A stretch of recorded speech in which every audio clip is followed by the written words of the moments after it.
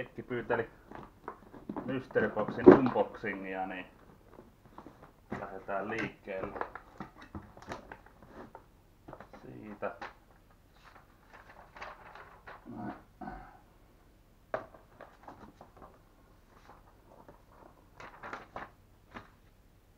Tärkeimmät täältä tekana. Mikäs perkele tämä?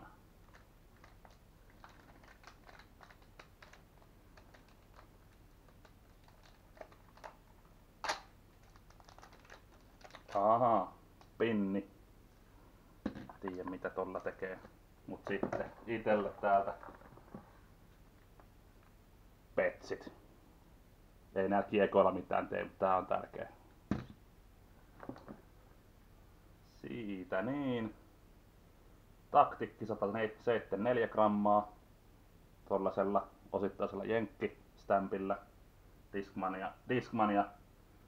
Ja seuraavaksi harmaa 174 Enigma.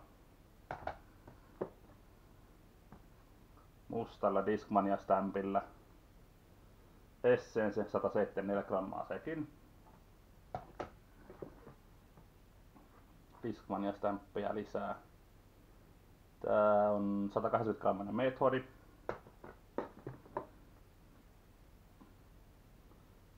Sitten, mikäs tämä on, G-Starin, mikä toi PD2, 175 grammaa.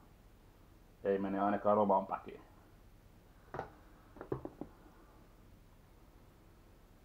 X-Outti, Active Premium Ma Magiciani,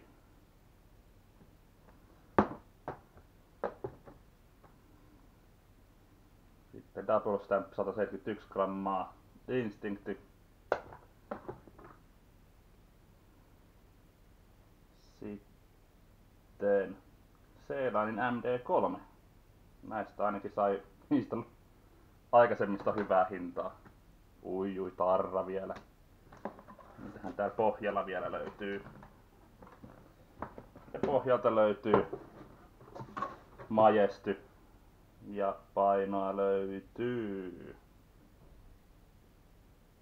No nyt en kyllä sitä erota tosta.